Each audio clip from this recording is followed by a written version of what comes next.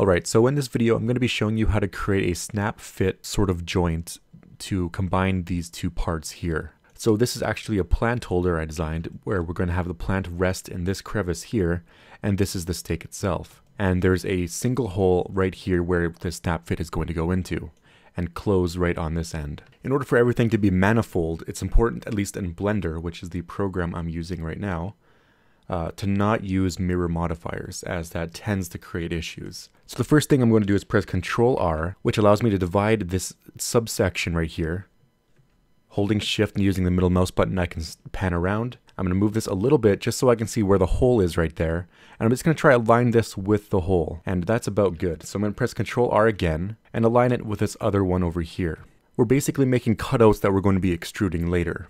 So let's press Control R again, and this will be the width of one of our snap fits. So I'm going to make it around here. We can adjust it later, so that's fine. And now we want to make another one for the second one. And it's just going to go around right there. We're going to adjust both of these a bit later. But now I press 7 on the numbers pad to get the top-down view. I'm going to press Z to see through everything. And I'm just going to move this back over roughly where it's going to fit when I actually 3D print this part. And now going to edit mode, I'm going to press Control R. And now I want to divide it vertically and align it with the hole.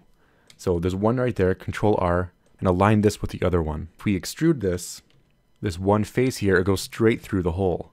That's one of our snap fits. The other one is going to be right here. And really at this part, you can use whatever techniques you want to design this particular step of the snap fit. Now I'm just going to lower this portion here just to get as close as I can to the stake itself. If it's difficult to select this here, this little face right there, Make sure faces is selected and then press this button, make it gray. Let's try to get these to be as identical as we can. Now one thing I like to do is adjust the very end of this. You can see it's this one line right there. I like to push it out, outward toward the center a little bit to increase the strength when it's actually 3D printed. So I'm to do the same to the other side and this is what we get. So I'm going to lower both of these a little bit more. Now I'm going to select both of their faces and I'm going to extrude it downward. Then individually, I'm going to grab this one here, extrude it this way, rotate it. I'm going to do the same to the other side. And these are going to be the hooks that are going to get pushed in towards the center here, and then they're going to clip in, and that should be fine. This design right here should actually work. This will be a working snap fit if you 3D printed this. And that's basically the steps. This is the key design that you're going to be working towards.